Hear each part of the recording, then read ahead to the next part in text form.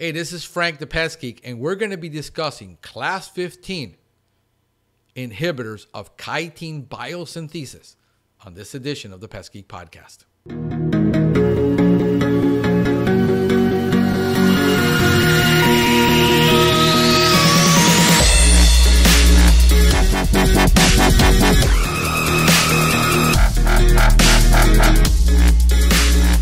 Now, what is chitin inhibition? Well, it is what it, we use a product what is known as a chitin inhibitor, which is an insect growth regulator, also known as an IGR. Now, what is chitin? Well, chitin is actually an amino sugar that is used by insects as an element for building that exoskeleton. It's basically a cellulose sugar product that they make is that crunchy exoskeleton that they have in different colors. And what happens is it's produced what is through what is known as biosynthesis. It is the, the, the, the coming together or mixing of different elements to create a product. And that's what happens with the exoskeleton. It is a hormonal product that happens in their body to create those exoskeletons. So they're born sometimes without an exoskeleton. Sometimes they go through a molting process and they change exoskeletons. But it, they don't have bones, so they have to create this product.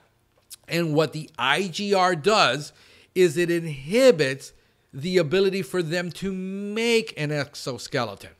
So a product like Novaluron aids in that inhibition. And what it also does, it, it causes the damage in the larval stage when they're young, but it also causes damage in the egg stage. And especially like in roaches or mosquitoes, where it damages the larvae. Now, chitin metabolism in insect through a product like Novaluron works mostly by ingestion.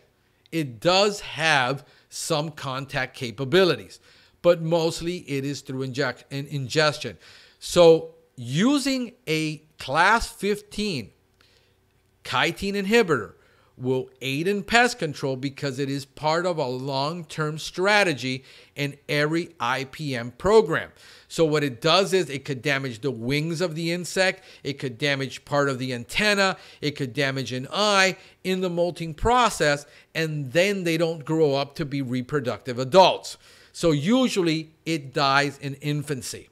And the advantage of using an IGR, it is considered a low risk, low impact product because it is a synthetic hormone that mimics the one they would naturally lose and it keeps it active in the area. Remember that insects have to lose hormone in order to grow. By keeping it present, it constantly is in the area and therefore it controls usually all stages of growth in an insect. I hope this video has been helpful to you. I hope this podcast has been helpful to you. If it has, do me a favor, subscribe to the channel, click like below, and share it with your friends. This is Frank the Pest Geek wishing you a pestacular day.